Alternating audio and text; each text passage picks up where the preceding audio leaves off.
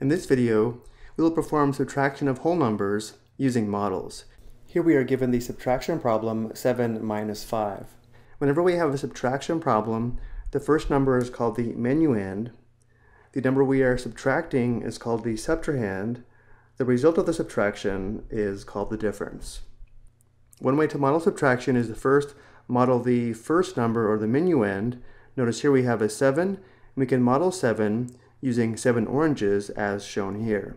And then because we have 7 minus 5, we can think of subtraction as removing or taking away. So because we have 7 minus 5, we want to remove or take away 5 of the 7 oranges.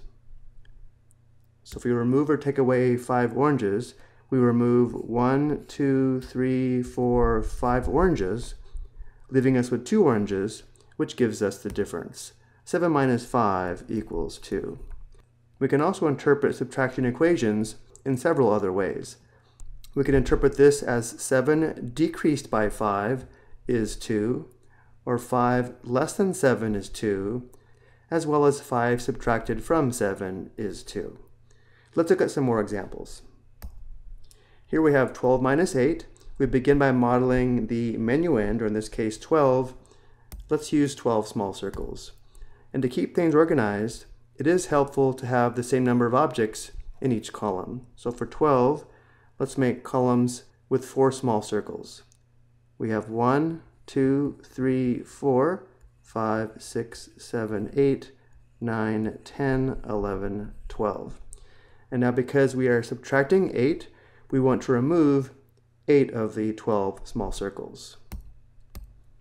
So we remove 1, 2, 3, 4, 5, 6, 7, 8 circles, leaving us with 4 circles, which gives us the difference. 8 minus 12 equals 4. Again, 12 is the minuend, 8 is the subtrahend, and 4 is the difference. We can also interpret this as meaning 12 decreased by 8 is 4, 8 subtracted from 12 is 4, as well as 8 less than 12 is 4. For our last example, we have 22 minus 14. We begin by modeling 22 with 22 small circles. This time let's use 5 small circles per column.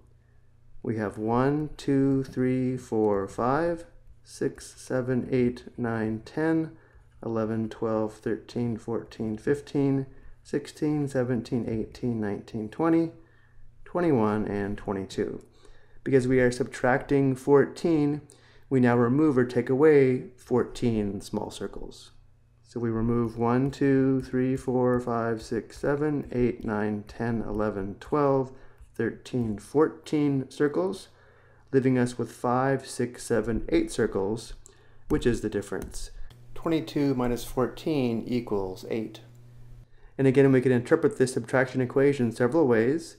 We can think of this as 22 decreased by 14 is 8, 14 subtracted from 22, as well as 14 less than 22 is 8. I hope you found this helpful.